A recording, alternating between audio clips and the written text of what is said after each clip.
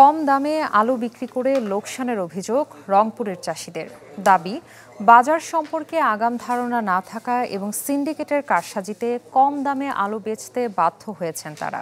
তবে কৃষকদের তেমন লোকসান হয়নি মন্তব্য করে কৃষি সম্প্রসারণ অধিদপ্তর বলছে, আরও লাভ চাইলে করতে হবে সংরক্ষণ।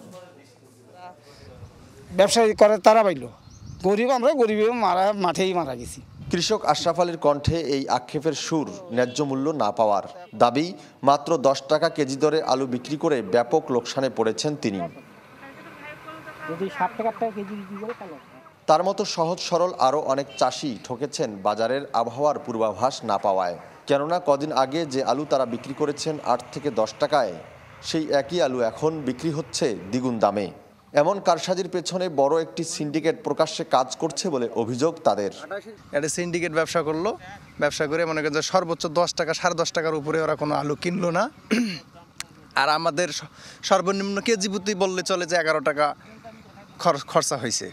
আলু ভালো হয়েছে কিন্তু আসলে পয়সা পাই নাই পা- আলুটা আগে বেচাছি। চুয়ান্ন বস্তা আলু হয়েছে। বেশি বিরানব্বই হাজার পাঁচশো চল্লিশ টাকা। এখনও টাকাই পাইনি। আমার খরচ হয়েছে নব্বই হাজার টাকা খরচ হয়েছে। কৃষি ও কৃষকের স্বার্থে অসাধু ব্যবসায়ীদের বিরুদ্ধে দ্রুত ব্যবস্থা নেওয়ার আহ্বান কৃষক নেতাদের। যখন আলুর বাজারের উত্থান হলো এর সুফলটা কিন্তু মধ্যস্বত্বভোগী ফড়িয়া দালাল তারা কিন্তু পাবে। সেই জায়গা থেকে আসলে আমরা মনে করি যে বাজারের উপরে সরকারের যে নিয়ন্ত্রণ বা যথাযথ মনিটরিং না থাকার কারণে কিন্তু এখানে কৃষক ফসলের যে ন্যায্য মূল্য ন্যায্য মূল্য থেকে বঞ্চিত হচ্ছে। এদিকে তেমন লোকসান হয়নি দাবি করে কৃষি সম্প্রসারণ অধিদপ্তর বলছে, আরও লাভ চাইলে করতে হবে সংরক্ষণ। দেড় লক্ষ টাকা দিয়ে ওই ধরনের একটা ঘর নির্মাণ যদি কৃষকরা প্রত্যেকেই করতে পারে, ওখানে প্রতিটা এই সংরক্ষণাগারে তিরিশ মেট্রিক টন করে আলু সংরক্ষণ করা যাচ্ছে। যদিও খোদ সংস্থাটির তথ্যমতে, রংপুরে যে একচল্লিশটি হিমাগার আছে, তাতে মজুত করা সম্ভব মাত্র চার লাখ মেট্রিক টন আলু। বিপরীতে বছরে উৎপাদন হয় অন্তত পনেরো lakh metric ton. Fakhrul Shahin, channel twenty four, Rangpur. চৈত্রের শিলাঝড়ে ফসলের ব্যাপক ক্ষয়ক্ষতি হয়েছে নেত্রকোনায়। মাত্র আধা ঘণ্টার তাণ্ডবে ঝরে যায় আমের মুকুল। ক্ষতির মুখে পড়ে বোরো ধান আর রবি শস্য। জেলা কৃষি সম্প্রসারণ অধিদপ্তরের কর্মকর্তা জানিয়েছেন ক্ষয়ক্ষতির পরিমাণ নির্ণয় ও কৃষকদের সহায়তায় কাজ করছেন তারা। হানিফুল্লাহ আকাশের তথ্যচিত্রে ডেস্ক রিপোর্ট। বুধবার ভোর থেকে নেত্রকোনায় হঠাৎই শুরু হয় ঝড় সাথে শিলাবৃষ্টি। স্থানীয়রা জানান খুবই অল্প সময়ের হলেও ঝড়ের তাণ্ডব ছিল ব্যাপক। কাঠ আসিন কাঠ ভাঙছে জিনিসপত্র ভাঙছে। চাল ভাঙছে বেড়া টেরা ভাঙছে সব কিছু তো আমার মেলা ক্ষতি হয়েছে গরদার ভাঙ্গে সাথে যে ভাই ওকে একবার তো ঠিক করে দিবে তখন যাইব হইলে ফসলে জমি যে নষ্ট হয়ে গেছে আমরা কারণ কিবা চলন কিবা দশ বারোটা গ্রামের অবস্থা খুবই করুন মানে প্রত্যেকের এমন অবস্থা হয়েছে কেউ ঘর নাই জমি তো নাই গিয়া ফসলের জমি নাই ফসল যা ছিল সব শেষ। চৈত্রের এই শিলাঝড়ে ঝরে গেছে আমের মুকুল। গাছপালা উপড়ে যাওয়ার সাথে সাথে ব্যাপক ক্ষতি হয় বোরো ধান উঠতি ফসলের। সব নষ্ট হয়েছে এটি ব্যস্ত মারতাম না কামানো যেত না। এই ভাষা সব শেষ। দুগাড়ি ভাঙ্গেছে আপনার সব দেয়াল অবস্থা কেলা গিয়া কাউনের মতন আমরা বন্ধ যে নাম সাব্যা সুব্যা কিন্তু কিছুই নাই। এই বাগান প্রতি বছরে দেড় লক্ষ টাকা বিয়ে হয়। মানে এই বছরে তো এই যে ঘূর্ণিঝড়ে আর এই যে শিলাবৃষ্টি অনেক ক্ষয়ক্ষতি হয়েছে। ক্ষয়ক্ষতির সঠিক হিসাব পেতে ও কৃষকদের সহায়তায় মাঠ পর্যায়ে কাজ শুরু হয়েছে বলে জানিয়েছে জেলা কৃষি সম্প্রসারণ অধিদপ্তরের কর্মকর্তা।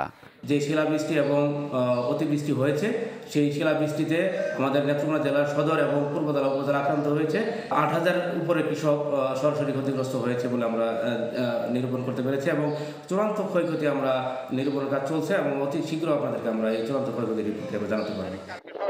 নেত্রকোনা কৃষি সম্প্রসারণ অধিদপ্তর বলছে এক হাজার একশো পঞ্চাশ হেক্টর জমির বোরো ধান ও পঁচিশ হেক্টর জমির রবি শস্যের ক্ষতি করেছে চৈত্রের এ ঝড়। ডেস্ক রিপোর্ট, চ্যানেল টোয়েন্টি রমজানের শুরু থেকে সারা দেশে উচ্চমূল্যে বিক্রি হচ্ছে প্রায় সব খাদ্যপণ্য। খুচরা ও পাইকারিতে সবজির দামে পার্থক্য আকাশ পাতাল। নির্ধারিত দামে বিক্রি হচ্ছে না মুরগি। অসাধু ব্যবসায়ীদের বিরুদ্ধে ব্যবস্থা নেওয়ার প্রতিশ্রুতি ভোক্তা অধিকার সংরক্ষণ অধিদপ্তরের, বিস্তারিত নুরুল আমিন রবিনের প্রতিবেদনে। রমজানে সব সবজিকে ছাপিয়ে আলোচনায় উঠে আসে বেগুন, কারণ চাহিদার সাথে পাল্লা দিয়ে বাড়ে দামও। যেমন কয়েক রোজা পার হলেও শরীয়তপুরে খুচরা বাজারে এখনও প্রতি কেজি বিক্রি হচ্ছে আশি টাকা পর্যন্ত।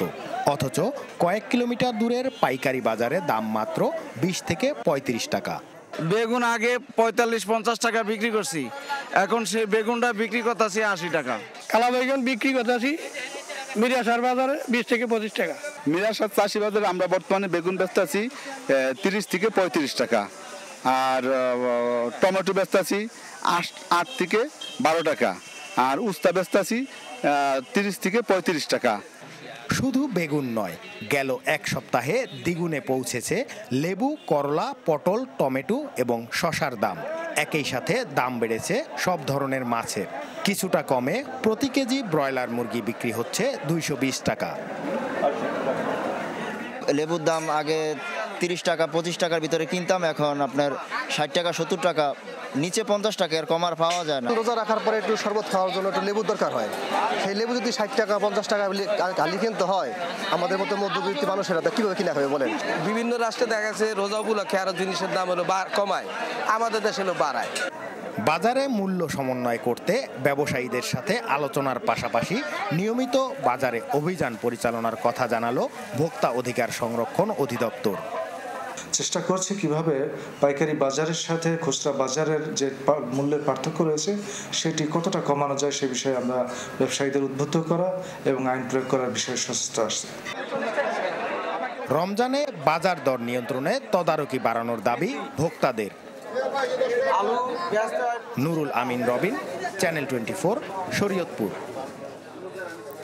জনগণের পুষ্টি চাহিদা পূরণ, কর্মসংস্থান সৃষ্টি ও দেশের আর্থ সামাজিক উন্নয়নে ইলিশ মাছের গুরুত্ব অপরিসীম বলে মন্তব্য করেছেন মৎস্য ও প্রাণী সম্পদ মন্ত্রী সমর রেজাউল করিম সকালে রাজধানীর ফার্মগেটে বিআরসি মিলনায়তনে মা ইলিশ সংরক্ষণ বিষয়ক এক কর্মশালায় এই মন্তব্য করেন তিনি।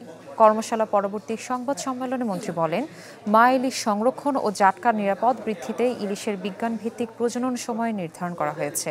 এ সময় জাটকা আহরণ, পরিবহন, মজুদ ও ক্রয় বিক্রয়ে সরকারের নিষেধাজ্ঞা মানতে সবার প্রতি আহ্বান জানান তিনি। বলেন, নিষেধাজ্ঞার সময় জেলেদের রিজিএফ এর মাধ্যমে খাদ্য সহায়তা বাড়ানো হয়েছে।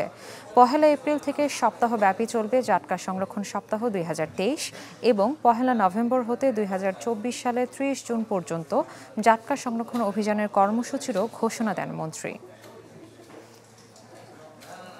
ইলিশের পোনা জাটকা যেন নিরাপদে বৃদ্ধি লাভ করতে পারে, সে কারণে পহেলা নভেম্বর থেকে তিরিশ জুন পর্যন্ত সারা দেশব্যাপী জাটকা ধরা, পরিবহন মজুদ, ক্রয়, বিক্রয় নিষিদ্ধ করা হয়েছে। জাটকা আহরণে বিরত অতি দরিদ্র জেলেদের বিকল্পতার কর্মসংস্থান হতে পারে, সে ব্যবস্থা করা হয়েছে। কৃষি টোয়েন্টি ফোরে আজ এ পর্যন্তই। এতক্ষণ সাথে থাকার জন্য ধন্যবাদ সবাইকে।